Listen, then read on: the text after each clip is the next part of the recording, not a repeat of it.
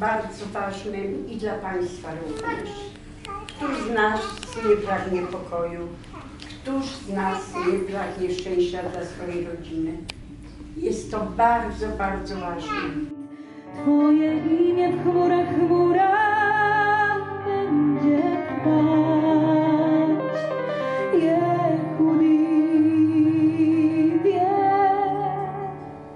Był sobie skrzypek hercowicz, co grał z pamięci jak z nut. Z Schuberta on umiał zrobić.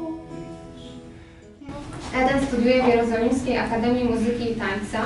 W swojej karierze współpracowała z Jerozolimską Orkiestrą Symfoniczną. Śpiewa głównie w Jerozolimskim Studio Opery Lirycznej oraz w Teatrze Jerozolimskim.